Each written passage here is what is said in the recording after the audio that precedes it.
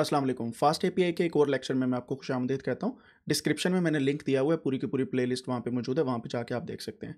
इस लेक्चर के अंदर हम देखेंगे कि पाथ पैरामीटर्स किस तरीके से असाइन किए जाते हैं और पाथ पैरामीटर्स होते क्या हैं।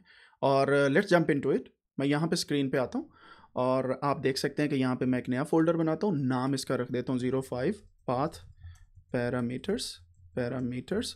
By the way ये सारे के सारे कोड को मैं सेपरेट इस वजह से कर रहा हूँ because we are developing something जो आपको बाद में भी फ़ायदा दे देगी, ठीक है?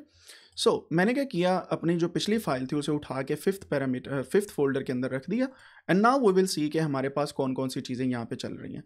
अब मैं क्या करता हूँ, इसको रन करता हूँ, बल्कि मैं यहाँ से C D zero six zero five और six zero five path parameters में जाते हैं। और यहाँ पे हम अपनी यूवी कॉन के थ्रू इसको ऐप को रन करते हैं। जैसे मैंने इसको रन किया, मैं कंट्रोल क्लिक करके यहाँ पे आता हूँ तो यहाँ पे ये चीज़ लिखी हुई है। अब यहाँ पे अगर मैं आपको अपना कोड दिखाऊँ you can have a look कि हमने एक राउट डिफाइन किया था यहाँ पे, ठीक है? जिसके आगे हमने स्लैश यानी कि ये रूट है बेसिकली ये वाली जो होती है, ठीक है? और इसके आगे जब हमने जाना होता है then we have to use different kind of things हम यहाँ पे फॉरवर्ड स्लैश के बाद जो भी चीज़ लिखेंगे, वो हमारे पास आएगी। जैसे मैंने स्वेगर डॉक्यूमेंट्स के अंदर जाके यहाँ पे स्लैश डॉक्स लिखा था तो हमारे पास स्वेगर डॉक्यूमेंटेशन ओपन हो गई थी। समथिंग लाइक दिस ठीक है?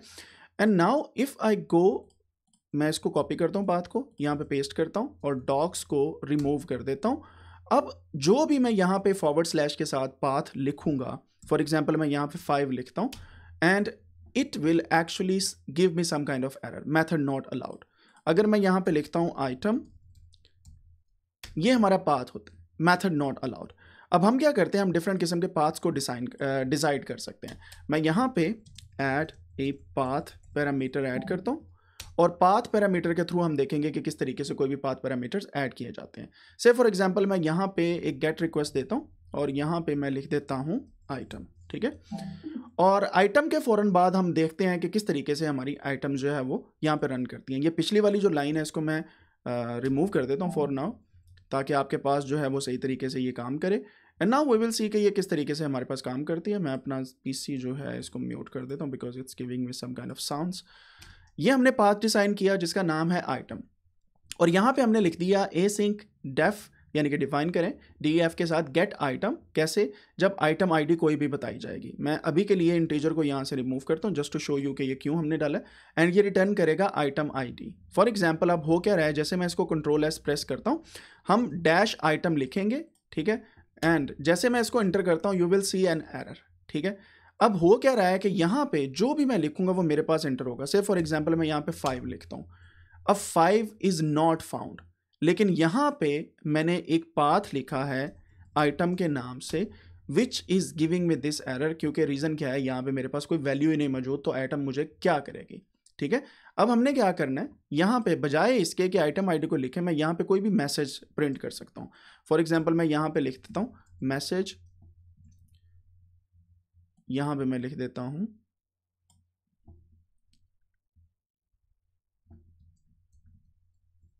लिस्ट आइटम्स इसको कंट्रोल एस करता हूँ, वापस जाता हूँ, इसको रिफ्रेश करता हूँ। एंड अब हमारे पास यहाँ पे आप देख सकते हैं कि यहाँ पे हमने आइटम को लिखा है। अभी भी हमारे पास सेम एरर आ रही है बिकॉज़ यहाँ पे हमने आइटम आईडी का एक फ़ंक्शन दिया हुआ है। मैं इसको रिमूव करता हूँ just to show you and now I see कि जैसे मैं आइटम के पाथ में जाता हूँ तो वो मुझे ये मैसेज देता है लिस्ट आइटम्स ठीक है? अब ये एक पाथ हमने डिफाइन किया आई टी ई एम के साथ, जिसको हमने यहाँ पे लिख दिया। आप इसको आइटम्स भी कह सकते हैं then it will say get items list of items तो जो आप चेंज करेंगे, वो यहाँ पे रियल टाइम के अंदर आपके पास होती रहेगी। आइटम्स मैं लिखूँगा यहाँ पे and then it will work because I have change the spellings list items ठीक है? This route will list items right something like this तो ये मेरे पास इस तरीके से एक पाथ पैरामीटर मैंने डिसाइड कर दिया। वही चीज़ जब आप डिफरेंट पेजेस बनाते हैं तो दीज आर कॉल्ड पाथ्स ठीक है? और आप इस तरीके से डिफरेंट पाथ्स को यहाँ पे मैनेज कर लेते हैं। अब यहाँ पे अगर मैं आइटम्स की आईडी को ऐड करना चाहूँ और यहाँ पे कुछ प्रिंट करना चाहूँ we can do that as well तो हम क्या करेंगे? Add path parameter in items in in the route items as item IDs ठीक है? अब हम यहाँ पे आइटम आईडी का एक पा, पाथ ऐड करेंगे यानी कि आइटम्स के साथ जब हम आइटम्स आईडी की तरफ़ जाएँ तो हमारे पास ए सिंक हम गेट आइटम्स की आईडी लिखें और यहाँ पे मैं इसको इंट को यहाँ से रिमूव करता हूँ और यहाँ पे हमारे पास आइटम आईडी प्रिंट हो जाए ठीक है?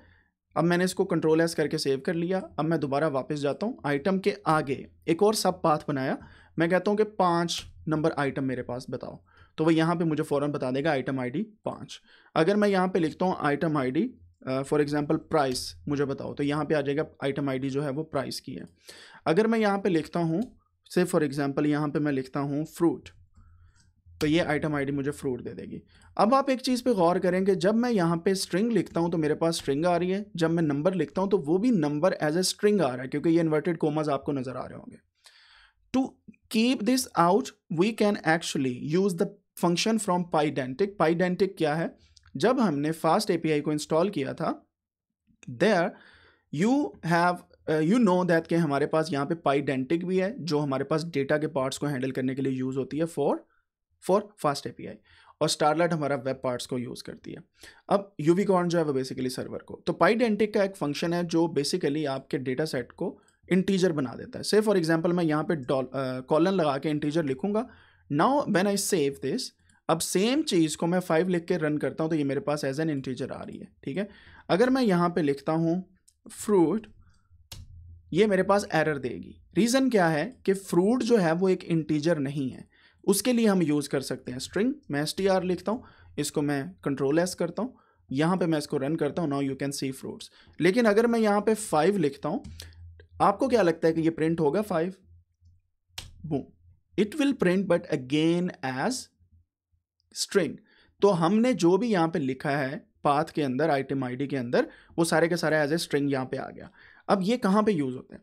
जब आप एक लंबी डेटाबेस की लिस्ट बना रहे होते हैं तो फॉर एग्जांपल आप किसी यूज़र की आइटम की या यूज़र की आईडी वहाँ पे शो करवाना चाहते हैं you can actually use this path और वो उनको दिखा देगा कि इसकी आईडी ये है और ये इसकी सारी इन्फॉर्मेशन है। And this is how we use this path parameters यहाँ तक आपको क्लियर हो गया कि किस तरीके से पाथ पैरामीटर्स यूज़ करते हैं। अब सेम पाथ पैरामीटर हम यूज़ करते हैं same path parameters for users हम यूज़र के लिए यूज़ करते हैं पाथ पैरामीटर अब सेम वही चीज़ है यूज़र्स और यूज़र आईडी के अंदर हम जाएँगे डायरेक्टली और यहाँ पे हम यूज़र आईडी को एंटर करेंगे और वो यूज़र आईडी हमारे पास यूनिक आईडी होगी विद नुमेरिक डिजिट्स या हम इंटीजर्स उसको बोलते हैं। जैसे मैं यहाँ पे पाथ के अंदर जाता हूँ यूज़र के स्लैश फाइव लिखता हूँ you will see detail not found अब रीज़न क्या है कि हमने यहाँ पे यूज़र्स लिखा हुआ है। So you have to pay attention towards the path. मैं यहाँ पे जाता हूँ। Users, enter. And I refresh this. Nothing happen let's see क्या एरर है यहाँ पे अब। हमने यहाँ पे, ओ आई सी यूज़र का जो items ID get items ID get user user user id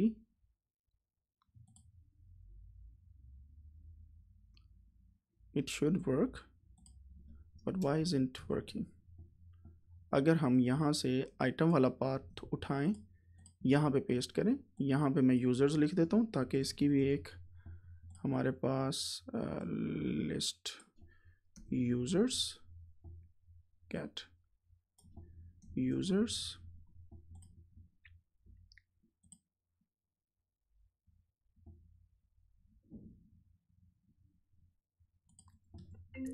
इसको रन करते हैं।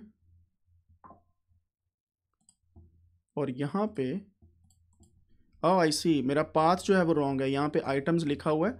I don't need to run items now it will be working fine sorry for this wrong ये आप देख सकते हैं। हमारे पास यूज़र आईडी जो है वो प्रिंट होना स्टार्ट हो गई है। And this is how you can actually add the parameter path parameters inside your app अब जो नेक्स्ट लेक्चर्स आने वाले हैं, उसके अंदर मैं आपको और भी डिटेल में बताऊँगा कि पाथ पैरामीटर्स को किस तरीके से सेट किया जा सकता है।